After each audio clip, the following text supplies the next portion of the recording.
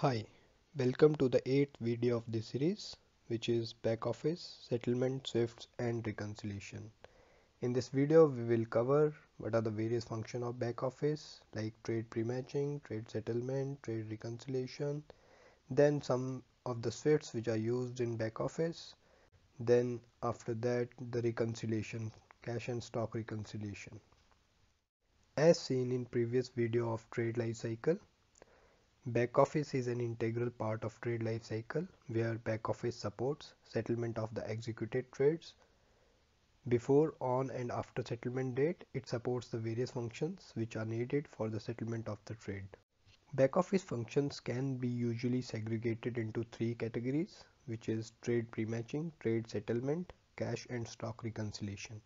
Apart from that, various other accounting and finance functions also fall into back office category. Back office acts as a communication link between the depository and the broker. In other words, we can say that back office is a link to the real world once a trade is executed. Now coming to trade pre-matching. Trade pre-matching means matching the economic details of a trade with the counterparty. Back office teams are responsible for matching the economic details of the trade with counterparty where the economic details will include the trade date, settlement date, quantity of shares, security identifier, ISIN, what are the economic parameters of that trade, the price at which the trade is settling and the total amount that is needed to settle that trade. Back office teams perform various activities to assist trade pre-matching. Some of the activities are listed as below.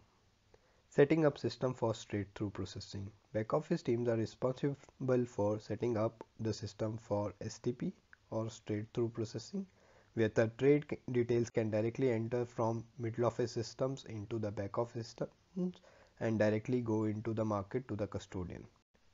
Back office teams are responsible to instruct the trades which has an exception to the custodian. For example, if a trade for a new counterparty comes into the system there will be there can be situation where no SSIs or standard settlement instructions are set up for that counterparty. In that scenario back office teams will be responsible to instruct those trades manually so that they can reach to the custodian before the settlement date. When a trade goes from the back office system into the market to the custodian, custodian tries to matches it on the depository with counterparty instructions. There can be various scenarios because of which the trade can remain unmatched in the market.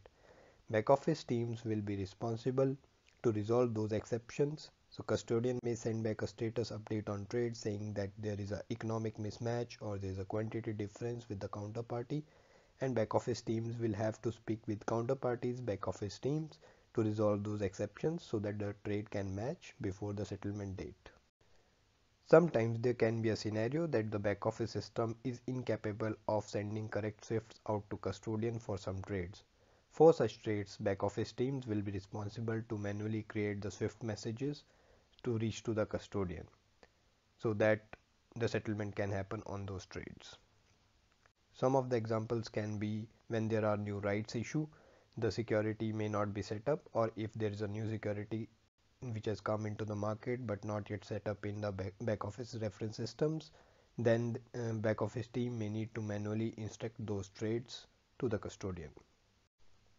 Although trade pre-matching happens before the settlement date, back office teams have a view on current positions and near future positions.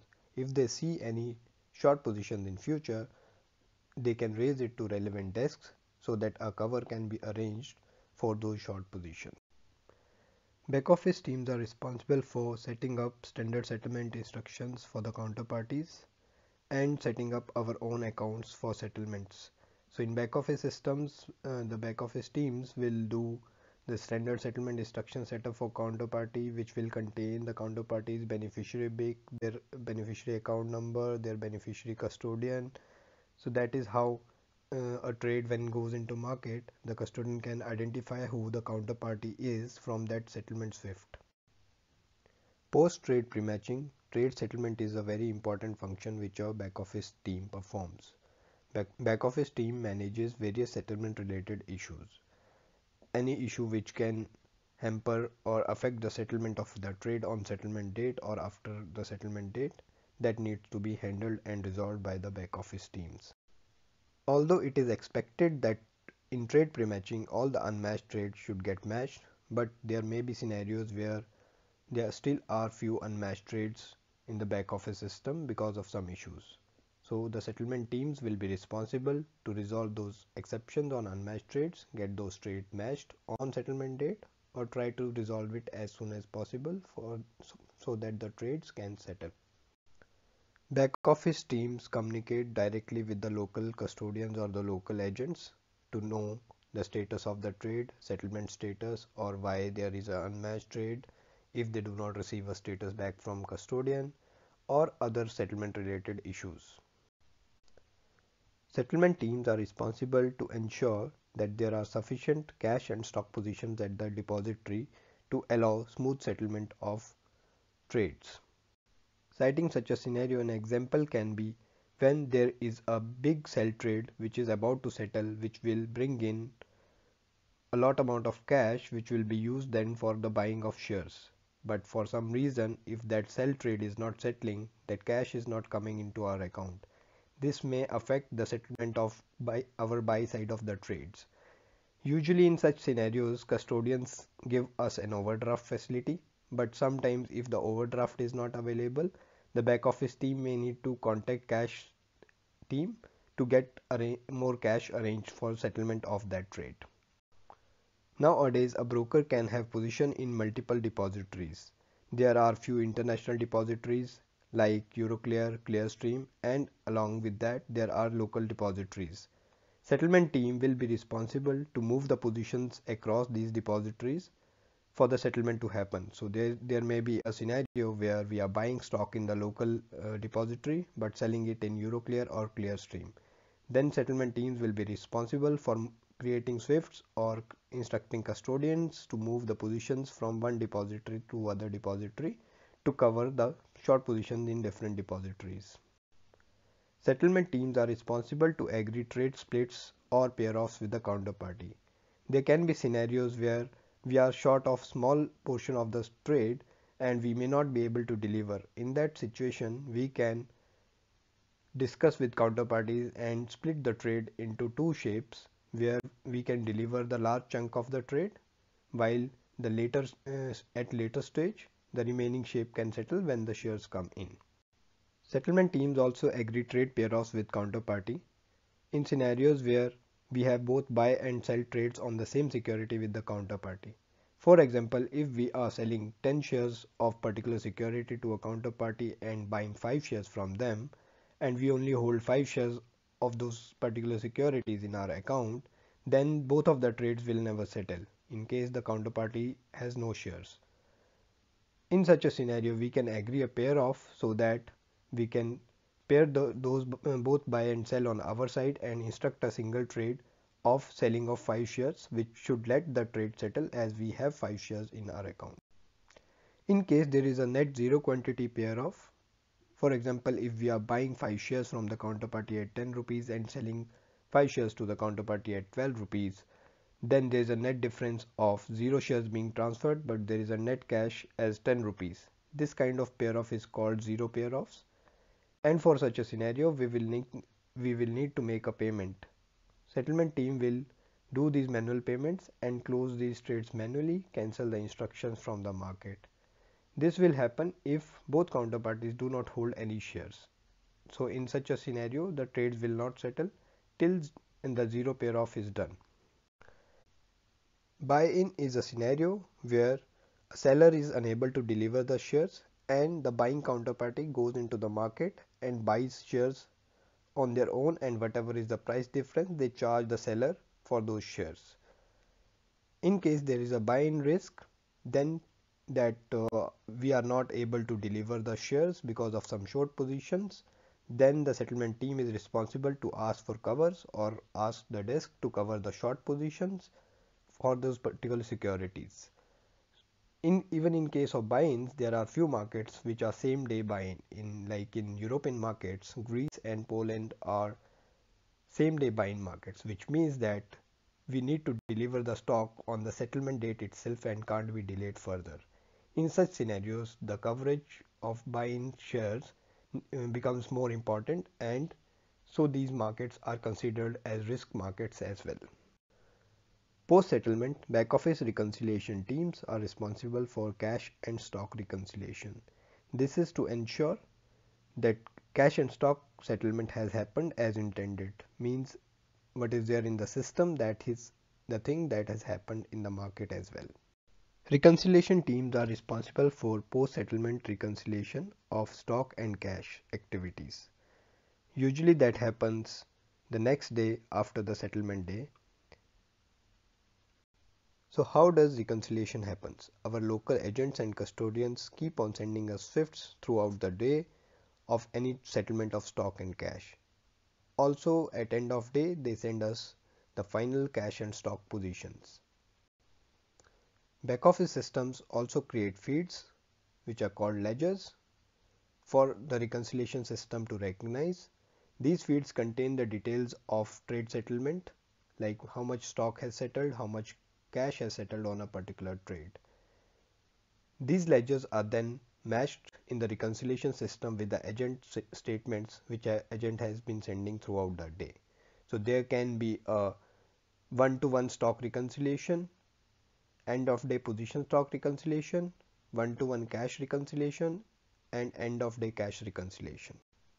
Reconciliation teams may also need to post journals in case there are scenarios of manual settlements or some exceptional settlements where the system cannot generate the ledgers for that. Also while the trades are settling there is a tolerance which depositories provide.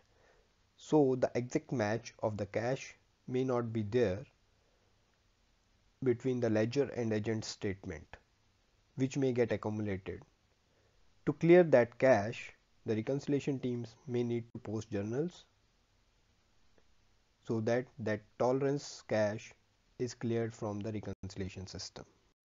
Reconciliation teams need to investigate the breaks in the reconciliation system and if they find any duplicate settlements they may need to agree reversals with the counterparty.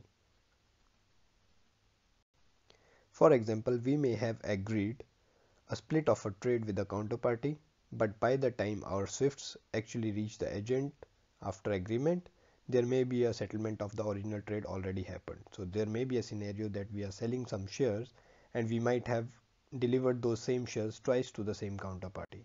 So this will appear in reconciliation as a break and the reconciliation teams will have to agree a reversal with the counterparty where the counterparty systems will also show the same breaks. Now coming to settlement SWIFTs. Back office systems send out various SWIFT messages to the custodians to ensure settlement of trades to ensure communication with the custodians. Different types of SWIFTs are described further. SWIFT is acronym for Society for Worldwide Interbank Financial Telecommunication.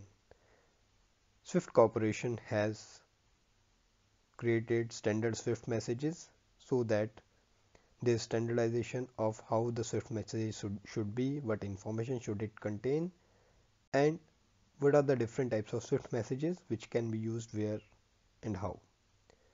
So coming to the first one MT540 this is a receive free Swift message. So in case there is a buyer and a seller then the buyer and the buyer is receiving stock free of cost so there can be scenarios like there is something called security lending in which the cash is not involved directly. So in such a scenario, the buyer will actually receive stock free of cost. Then in such a scenario, the buyer has to send MT540 to receive the stock from the seller through the custodian. MT541 in case of a cash trade where both cash and stock are involved the buyer will send a MT541 which is receive against payment. In this both the cash and stock, stock components will be there in the Swift message. MT542 is the deliver free Swift message. This will be used by the seller in case there is no cash component on the trade. MT543 is deliver against payment. This will be used by the seller to deliver the shares against cash. So in this Swift message, both the cash and stock component will be there along other identifiers. Also this means that the cash and stock will move instantaneously or simultaneously. So when the seller is delivering the shares at the same moment his account will get credited with cash. MT599 This is a free form narrative which means that this is a free text Swift message where the authorizing party can send a Swift message in a written text to ensure that custodian receives the message as authority to perform some actions on the sender's behalf. MT599 gives the flexibility to create some message with text. So this helps in uh, some scenarios where a buyer or a seller is unable to send a perfect Swift message from the system. Now coming to cash settlement Swifts. While the stock settlement swifts are always bidirection, which means both the buyer and seller has to send the swifts, those swift messages need to match with each other and then only settlement happens. While mostly the cash settlement is unidirectional, where the payer just has to send the swift message, his account is get debited as per the instructions on the swift message. MT101 is a request for transfer where a sender or the payer will send it this message to his custodian or bank to ensure that uh, his account is debited and uh, with the instructions on which account to be credited. MT2XX are the messages where financial institutions request the transfer. MT9XX are cash management relevant messages where the cash management can send the message out or they can receive the messages from custodian on cash status. MT2XX are the messages where financial institutions request the transfer. MT9XX are cash management relevant messages where the cash management can send the message out or they can receive the messages from custodian on cash status. Similar to MT599, MT299 is a free format Swift message where the sender can write a text message to his custodian authorizing some payment. Only difference between MT599 and 299 is that 299 is used for cash as free form uh, narrative while 599 is used for stock free form narrative. In settlements there are incoming swifts as well from which we get the trade status updates. There are few stock settlement confirmations for example MT548. This is a agent status update Swift where agent sends back a status if a trade is matched or unmatched and agent can also input more information like why the trade is unmatched if there is some economic parameter mismatch or if there is a counterparty mismatch. MT544 is receive free settle confirmation which means that if we have sent out a MT540 when it settles, agent will send back MT544 saying that your receive free trade has settled in market. MT545 is receive against payment settle confirmation which means that if uh, we have sent out MT541 which is receive against payment settlement outgoing then once it is settled agent will send back MT545 to confirm that the receive against payment trade has settled in market. MT546 is deliver free settle confirmation which means that if we have sent out MT542 which is a deliver free from our system then once it is settled agent will send a confirmation back on MT546. MT547 is deliver against payment settle confirmation which means that if we have sent out a MT543 which is a deliver against payment from our system then once this uh, trade is settled, agent will send back a MT547 confirming the settlement has happened for our delivery against payment settlement instructions. Now coming to cash settlement confirmation messages. MT900 is when our cash agent confirms us that there has been a debit into our account as per our instructions and MT910 is a confirmation of credit when our agent receives cash from some counterparty. We have come to the end of this video. So if you like our video, don't forget to share. You can also subscribe our YouTube channel which is Capital Markets Easy or you can drop us your queries on our email that is capitalmarketseasy at gmail.com no spaces please. Hope you like these videos. Keep on sending back your queries. Thank you